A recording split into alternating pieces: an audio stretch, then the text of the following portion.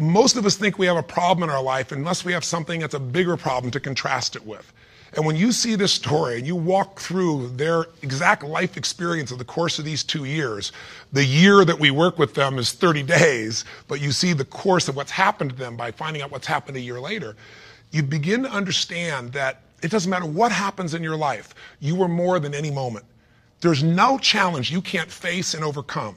Our, the events of our lives don't control our lives, our decisions do. And so I figured if we could take a couple that has faced this big a challenge and be able to break through, then you could look whatever's in your life and make it happen. It's kind of like if, if I wanted to show you that if you could face your biggest fear, your smaller fears kind of drop aside. Uh, it's like, what, what's your biggest fear? Today, one of the biggest fears so many people in North America and around the world, in the Western world, are facing is losing their job. It's a horrific possibility. It has impact on your family, your psychology, your emotion, so many things, your choices. But the truth of the matter is, what's a problem? Losing your job is a massive problem until you find yourself in a position where you lose all your savings. What it took you maybe 10 years of working to get. Then what's a problem after losing your savings? That's not a problem anymore when all of a sudden you lose your leg or an arm or something horrific happens to one of your children. That's not a problem when someone tells you all of a sudden that you have terminal cancer. And I've had those moments where somebody says you've got that tumor in your brain and we don't know what it means. Those moments take your other problems and make them disappear. And you know what's interesting? When you ask most people in North America, what's the greatest thing that could ever happen to you? Give them 10 seconds. It's been done over and over again. First 10 seconds, what comes to your mind? What's the best thing that could ever happen in your life? The majority of people in North America say what? Can you guess? Winning the lottery. And many of them say winning a $100 million lottery, $200 million lottery. That's what's going to make their quality of life extraordinary. But when you do the studies, and there have been many done over the last 15 or 20 years on people that win these giant lotteries, what are their lives like two years later, three years later, five years later? Is the quality of their life extraordinary? Rarely, if ever. Because what's happened is they haven't grown. They haven't. Life gives us these events, these quote horrific events, because there's an area of our life that has to grow. If you were to ask me, Tony, out of all the millions of people you've worked with, if someone really wants to feel alive, they want joy, they want happiness, they don't just want money or things or, or, just even respect. They want to feel a sense that life is meaningful and alive. What does it take? I tell you one word progress. When you're making progress in your life, it doesn't matter where it is, you're going to feel more alive. If you're overweight, but you get yourself today and you say, you know what, I'm stepping into gear. I'm just putting these darn shoes on. I'm not waiting for the perfect, you know, person to come by and coach me. I'll get that too. But right now, I'm just going for a walk, or I'm going to go for a jog, or I'm going to go lift some weights. I'm going to do something right now. And you get yourself into gear and you do that for a few days in a row, even if you haven't lost the 10, 20, or 30 pounds yet, you're going to start feeling better immediately because you have the power of momentum and you're making progress. Progress equals growth. Growth equals feeling alive. We grow or we die. So, what's the worst thing that could ever happen in your life? Same survey, ask the people in North America, 10 seconds to come up with the answer.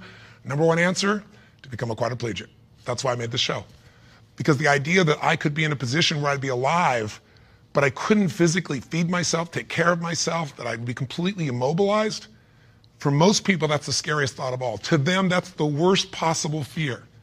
So by going through this journey with Frank and Kristen, and experiencing their emotions and seeing and feeling that in 30 days they could go from trapped in their home where there is no possibility of a future, no idea of intimacy, no idea of children to world travelers who are doing things they weren't doing before when he was, quote, supposedly able bodied, happier and stronger and closer in their love than ever before. And you know it's real, and you see the results a year later as we do the follow ups, and you haven't seen the follow ups, be sure to see that and hear about the story, of what's happened with them. When you get that experience, it affects you because it isn't somebody verbally telling you a story, it's something you kind of went through. So the idea here is I'm sure you have some other fears outside the one we just came up with.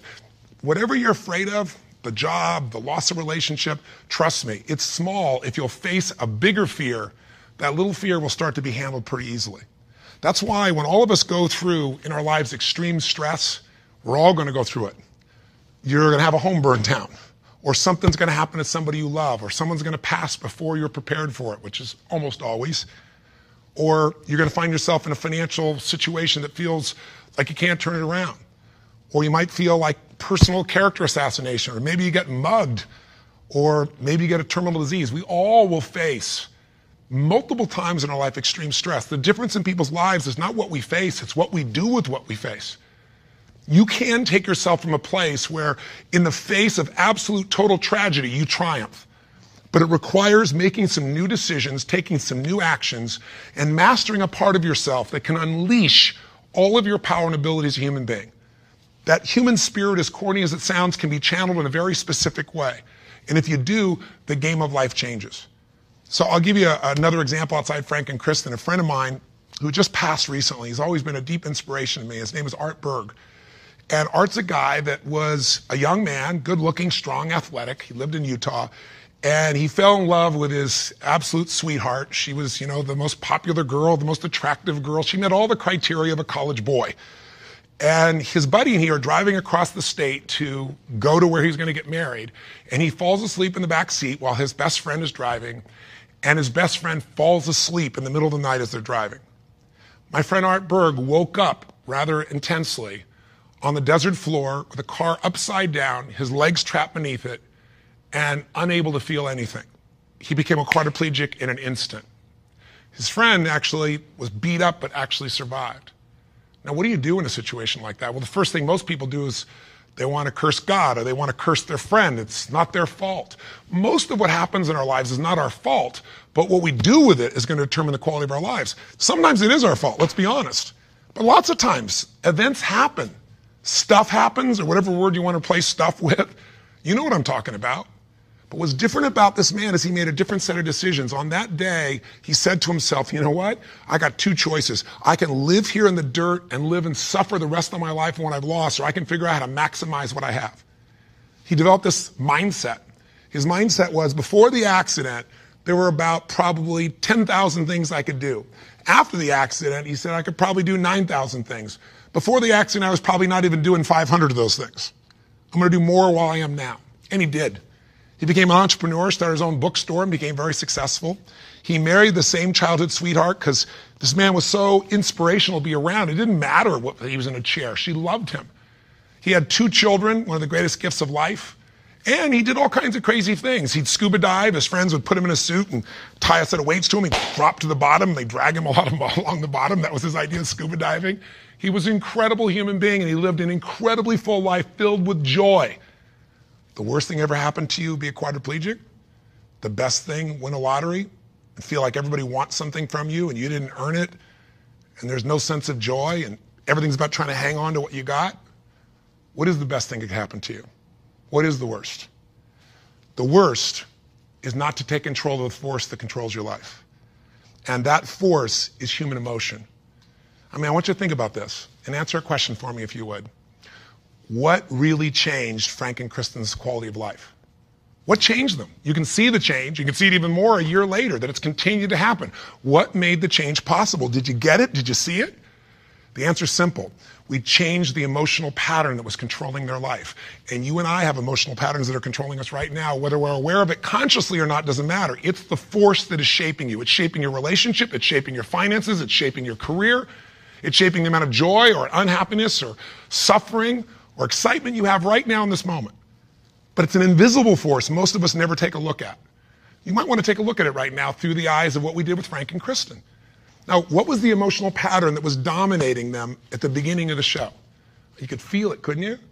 And there was this feeling of death, that there was no future, probably the most common belief system in people in North America and now in Europe. 60% of Americans now believe that the future is going to be worse than the past for themselves and for their kids. 70% of Germans and Europeans, I think it's 80%, according to the Pew study recently in France.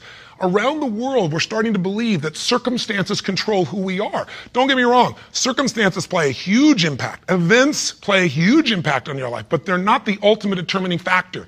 The force of human spirit or emotion is it. With the right emotion, you can unleash things you could never dream of. And I know you know this is true. So take a look, let's analyze. Where do these two live after the accident? Well, where would you live if you were Kristen? I mean, you've lost your future, supposedly. There's no intimacy, there's no chance of children. You've become the full time nurse to your husband who you love, but now you're changing his catheter every few hours. You're afraid to leave the house because you're afraid, what if he falls over? He may stop breathing. I mean, there's no life. So she goes from the emotions of feeling depressed, for the life she's lost to feeling angry. I call it a crazy eight. We get tired of feeling sad and then we'll get angry for a while and then we beat ourselves up for being angry at ourselves or God or our partner and then we get all depressed again. It's a common pattern. You don't have to have something like their event happen in your life to get stuck in a crazy eight. But interestingly enough, she's living in that place and now what, what's Frank doing? Frank wants to help his wife, but he's got a, a limitation we got to break through. He's got a belief. All breakthroughs start with a change in your beliefs. Because once you believe how something is, that means you're certain that's how it is. If you're certain it can't change, you're right, it can't. I can't convince you. No, no one else can convince you. And Frank's thinking, I'm helpless and I've harmed my wife.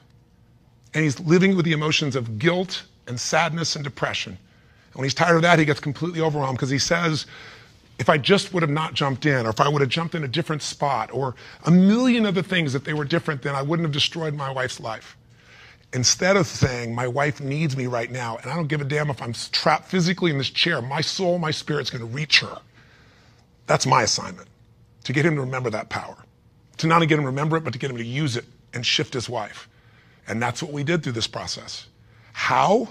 Well, the process really was giving him a series of experiences that would change his entire belief about who he is. I could try to tell him, oh, here's what you can do. Yeah, I'm six foot seven and I obviously have use of all my appendages. Easy for me, right? But if I get him to have some experiences, like I bring him to Fiji and I show him he can get out of the house, more than get a house, become a world traveler, and go through all the challenges that are part of that. That if you watch our little section of the story behind the story, you'll hear some things that weren't in the show about that, by the way.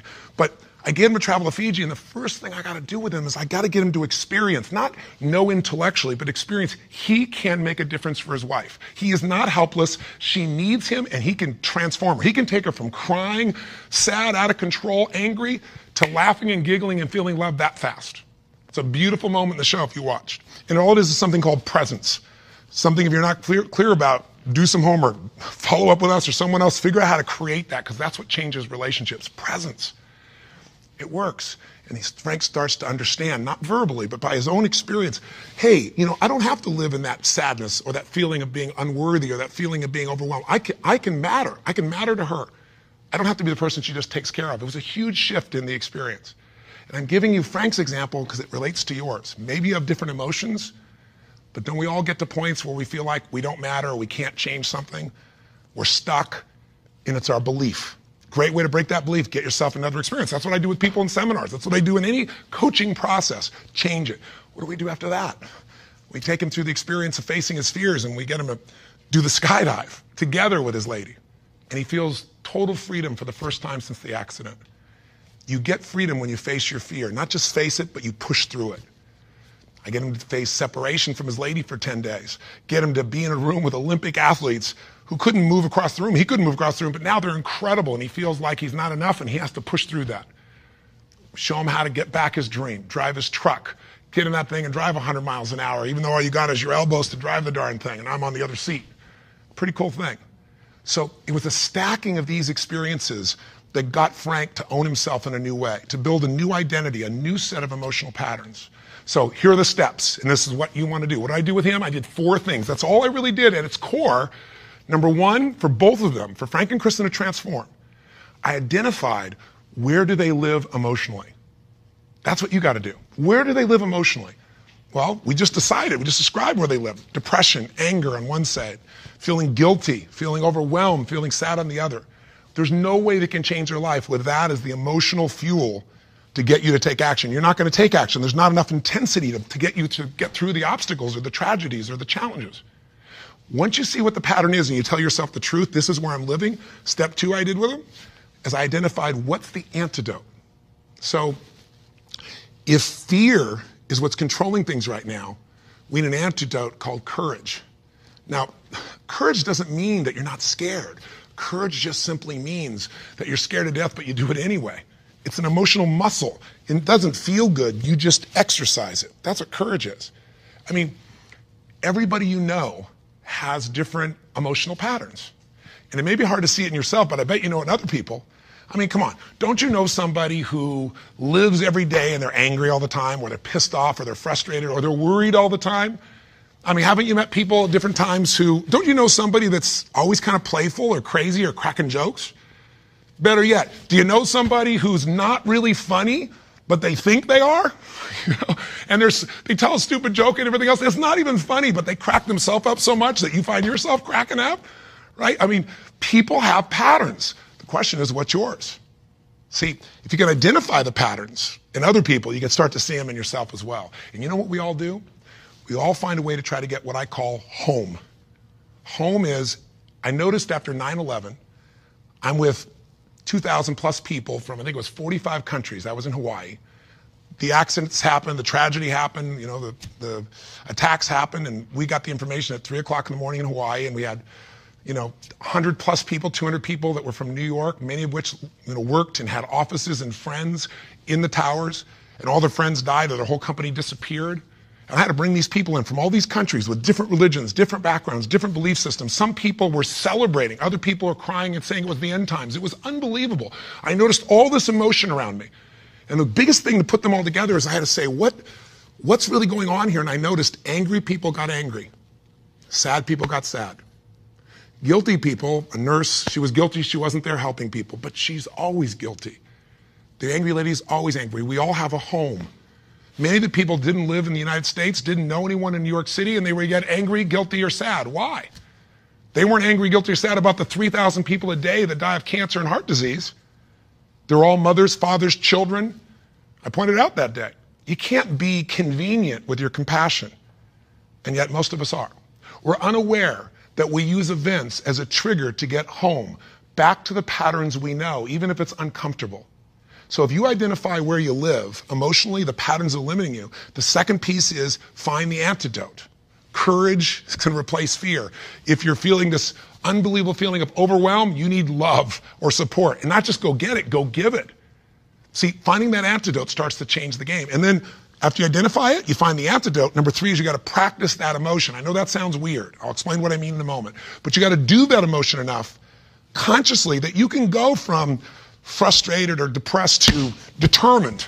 And you know how to shift that gear, and it's not fake, it's not some pump up, it's real. And it changes your life when you can do that like that. And it's a biochemical change. It's not some, I'm happy, I'm happy, I'm happy, positive thinking BS. That's not what I teach. I'm not here to tell you go to your garden and chant there's no weeds. I'm here to say there's the weed, go pull it out. But you're not going to pull it out without determination, without passion, without commitment.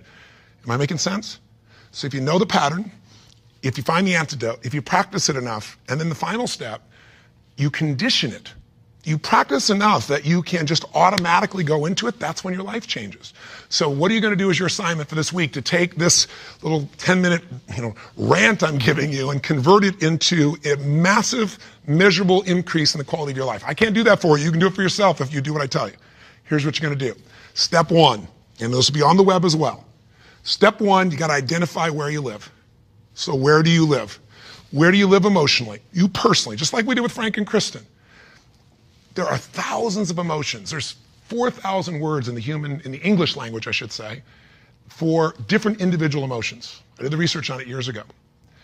I'm gonna have you take out a piece of paper, pen, take out your, you know, your notebook computer, get a page. On one side, one column, write all the emotions that you experience at least once a week that empower you in some way love, passion, excitement, creativity, whatever it is, peace, determination. I don't know. What are yours? I want you to write the emotions, though, you don't experience once in a while. The ones you experience at least once a week in a powerful way and really feel it. Not an emotion you feel once every blue moon.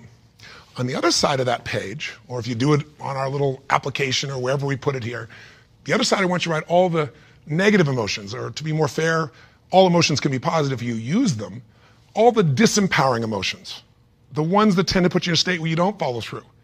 And I want you on that side to write all of them and do it simultaneously. Just keep making your list. What are the emotions I go into that mess me up, like feeling frustrated or overwhelmed or lost or alone or depressed or pissed off and rageful, whatever it is you go.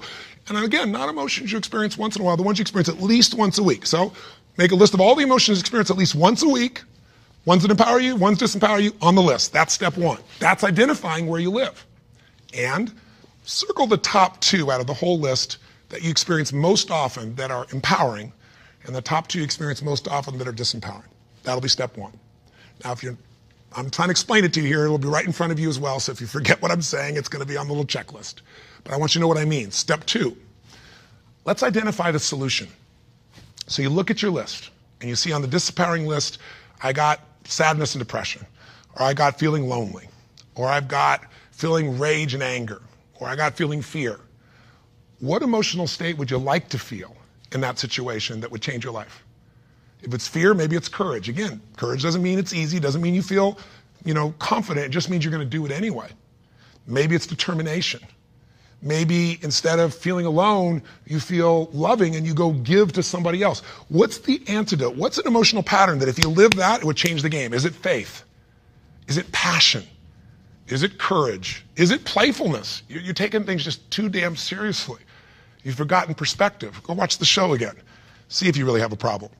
See if your problems are as challenging as the people you just saw who transformed their tragedy into something tremendous, something beautiful, something magnificent, something meaningful, something that can even help other people that are watching. That's the beauty. So that's the second step. What's the antidote? Come up with your antidote emotion. Step three is you got to practice that emotion. Now, I know that sounds silly, stupid, kind of weird. But if you came to a seminar with me, you'd see, you know, 3,000, 10,000 people. And we do this and we condition that a new emotion till you can shift gears. Have you ever heard about the fire walk? It's not about the fire walk. I do skydiving, all kinds of crazy stuff. It's a metaphor for how do I go from afraid, fire's metaphor for whatever you don't follow through on in your life, whatever holds you back, to snapping and going to a state of mind where I just move through. It's not this big mind over matter thing. It's mind over emotion. It's shifting. And when you learn how to go from scared to determined in action, what can't you do in your life? So we show you how to do that. But for right now, I'll give you just a quick example. Understand that emotion is really created by motion, by the way you use your body. So, quick example, real quick. Imagine a time when you know someone who's depressed or you were depressed. You ever felt that way, I'm sure you have at some time. And think about what you do with your body. When somebody's depressed, do they get all excited, talk faster, just no. Everything kind of slows down, doesn't it? What happens to your shoulders? They drop. Where's your head when you're depressed? Drops. Where's your breathing? Full or shallow? You know it becomes shallow. You talk loud and fast or slow and quiet. Slow and quiet, more hesitant. Now, emotion is created by motion. You can try and think yourself and I'm happy, I'm happy. But if you go, I'm happy, I'm happy, and your body's like this, nothing's going to change. We can change our biochemistry by eating, by taking a drug, by smoking a cigarette, because then you take a different breath, you eat food you like, you fill up your tummy, and you start to breathe nice. Your whole mental, emotional state changes, doesn't it? So what I'm saying is you don't need the cigarette, you don't actually need the food. You can just physically learn to say, this is what I do when I'm depressed. This is what I do when I'm most determined. It's there's this, there's this gesture I made. I remember one time when I was a kid, or one time I got pissed off and I just, what did I do? I made a gesture. I stood taller. I looked the person in the eye. I spoke with more authority. Now, my idea of passion and determination may be a little over the top for you, and I get it. I'm a crazy mofo, and I, I, I'm a passionate human being. But you can do your version. What do you do when you're really feeling something like determined? What do you do when you are passionate with your face, with your voice, with your body? Just practice and make a contrast. Here's what I do when I'm sad. Here's what I do when I feel loved. Here's what I do when I'm worried. Here's what I do when I'm determined. That's what I mean by practice. And I'd love to have you in an event, but I'm trying to give this to you so you can do it right now, and you can. And it maybe this would be helpful to do with friends so they can give you feedback and say, here's what you do. I see you do this when you're really strong. I see you do that when you're kind of weak. That's the third step. Practice. Now, what's the assignment? Figure out your emotions. Where do you live? Positive, negative. What are the big primary one antidotes? What emotions do you need? Practice the emotions you need so you can go into them a few times. Sounds a little weird, but if you do it, you'll see it's actually quite fun. Feels powerful. Maybe do it with a friend. That's the easy way to do it. And condition it. And that means take the next three days, do this three times. Figure out the difference and shift from not sure, worried to determined. From overwhelmed, I don't know what to do, to focused. And you just deliberately, physically make the change from one to the other. Three times for three days. If you're bold, do it for seven. But if you do this three or four times a day for three to seven days, you'll start to get a pattern in your body. And the pattern in your body, a new pattern means a new life. Our life's a reflection of our emotional patterns. If you live in sadness and depression, you could have a billion dollars and your life is called sad and depressed. If you're living feeling grateful, feeling alive, feeling passionate, your life is filled with gratitude and passion. Doesn't matter what's happening anywhere else. And you can face any challenge from those emotions and you can overcome. Does this make sense? This is how you can take what you watched in that show and convert it into some actions that'll change you. Very simple approach. Or come see me or get some coaching. I've got all kinds of resources, but this is something you can do right now. You don't need anybody else to make happen. You just need a little ability to take action. Make sense? And if you haven't seen the show, for God's sakes, go on Hulu and watch the show, or all this will just sound like a bunch of words. If you've had the experience, and you know what I'm talking about, and you've witnessed it, it'll be real in you right now, and you'll get a sense of what you can do to move forward. And if you can't find it on Hulu, once again, send us a little email and we'll make sure we find a way for you to be able to, to observe or experience the show directly. And last thing I'll say to you is the best way to keep something in your body is share it with somebody else. The whole philosophy of my life has been if your life's going to be meaningful, you can't just be about me, you got to be about we. So if you can, if you feel like it, if your spirit's touched by this, help us pay it forward. Share this with your friends. You can share the clip of our show. You can share this little section. We got all kinds of ways. Just take the clip and send it. And we even have a way you can push a button once again and send it virally to everybody. Everybody who's on your email list. We'd love it if that works for you. If you don't, we're totally respectful of that. But in the end, I can promise you one thing. If you will do this, if you'll discover your current emotional pattern and you'll change it through a little bit of practice over and over again, you will change the quality of your life no matter what you're facing. Make sense? Thanks for taking the time. I hope this was close to 10 minutes. I went a little crazy, but it's really just designed to try to really serve you. So, till I see you again, hopefully next week, live strong and live with passion. God bless.